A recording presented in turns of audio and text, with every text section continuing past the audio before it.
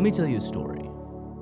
When I was about five or six years old, I was at my grandmother's house and I popped in her VHS copy of the, in retrospect, pretty rubbish BBC adaptation of The Lion, the Witch, and the Wardrobe. Before the feature started, though, there were, as you can imagine, a handful of previews, and one of them was for another book to film adaptation Jacob Have I Loved, starring a young Bridget Fonda. Like Jacob, grabbing after Esau's heel. You wish I'd never been born. Well, I can't help you with that. Help! It would never occur to you to help anyone. You're too busy grabbing what doesn't belong to you. Now, I've never read the book and I don't care at all about the context. All I know is that there was an image in this little trailer that scared the little five year old me like nothing else ever has. Let's hold off for a second, though. What I've come to find incredibly interesting isn't the simple fact that I was scared, but the fact that this particular image, which I have purposely not shown you yet, has stayed with me ever since. This is something I've seen once, maybe twice in my entire life, and yet it's something that's been permanently stuck in my mind ever since I was a kid. And it was such an impactful image that when it does pop up in my head every now and again, I will, no joke, feel some tiny bit of that same wide eyed five year old fear. I'm fairly certain all of you have some inkling of what I'm talking about. And just to clear up the context, I'm not talking about moments that you like or that you've thought about a couple times or even the memories you have of watching a film, despite the fact that those can be important themselves. I'm talking about the small handful of images that have lasted without any real clear and fluffy explanation. The ones that have, for some reason or another, etched a tiny little corner of their own in the very back of your mind, and that at random times you find yourself going back to again for reasons that are likely entirely unclear. And before we go any further, let me be completely upfront. There's no conclusion to this essay.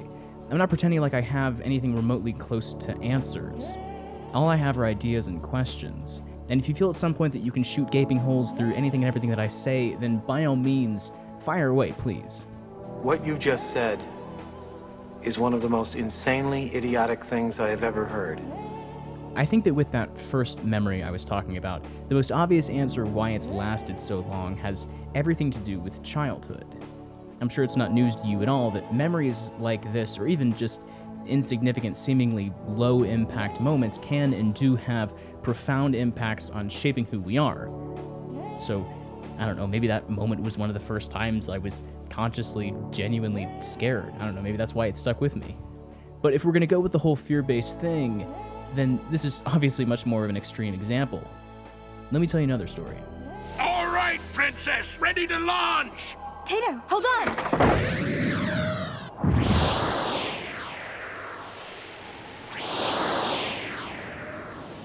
When I was 12 years old, I caught Hayao Miyazaki's Nausicaa the Valley of the Wind on TV one afternoon after school. And again, I, I don't know why, but one of the opening scenes of the movie, actually, just this shot right here, has been stuck in the back of my mind ever since. I think, in a way, and with a bit of a stretch, you could almost apply that same fear based reason as to why it stuck with me. And when I say fear, I'm I'm not talking about jump scares or being frightened. What I mean is that Nausicaa was in a very real way like absolutely nothing I had ever seen before. For a kid raised on Star Wars and The Lion King, this was something so completely out of the realm of my imagination, something so new and strange and unusual. That's why I say fear. It's almost like an extension of that that idea of the fear of the unknown. I didn't know what I saw. I just knew that I saw something. Now, granted, I could be taking that way too far. Maybe I was, and probably still am, just a sucker for pulpy fantasy stories, and the film just happened to hit me at the right time. Or maybe not. All I know is that this image has been stuck in my head for over a decade. Looks like they're still fresh. You could easily look at those two examples and classify them under some sort of childhood development heading, and I doubt you'd be wrong, but I don't think for a second that this is something limited to childhood. Let me tell you a third story. Only just a few years ago, I was making my way through Kurosawa's catalog of films, and one of the first that I watched was his 1980 epic Kagemusha, which, if you haven't seen, I mean, good lord, you are really missing out. Briefly, the story revolves around an impersonator who's brought into a kingdom to secretly replace the dying rightful ruling warlord. And there's a scene about halfway through when the impersonator is introduced to the warlord's personal guards and he displays his impersonation of the warlord to them. And his impersonation is so overwhelmingly convincing that the guards are not only shocked beyond belief, but quite literally bow down because they are so convinced he's the real deal.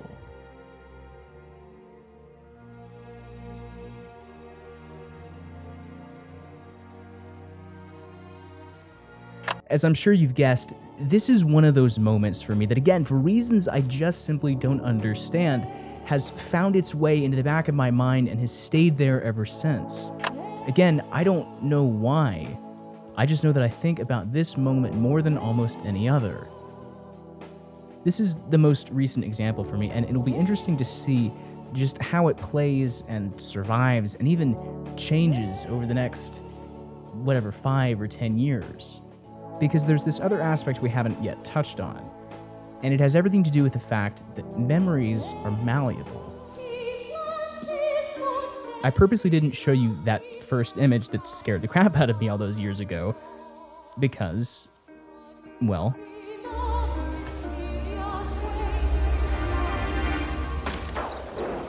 there's not a darn thing scary about it in the slightest. The interesting thing, though, is that my memory of this image, an image that still sends a shiver up my spine, looks really different than this. This is another idea you may be familiar with that with enough time, memories can change so much so that they actually wind up bearing little to no resemblance to the real thing itself. If that's true of normal memories, then there's no reason to think that it isn't true of our memories of films as well. Like I said, I'm not really leading to much of anything. I'm not intelligent or insufferable enough to give you some post grad answer, and I'm also not going to give you some fluffy, schmaltzy New Age sentimentality. Films play a massive role in shaping who we are. We all know this. These are questions that I think go right along with it. Questions and thoughts and ideas that I myself will likely continue to ask and re ask for years to come. Maybe you've thought about them too. If you haven't, well, then maybe I am blabbering on about nothing. But if you have, maybe that means I'm not too far off. Let me know.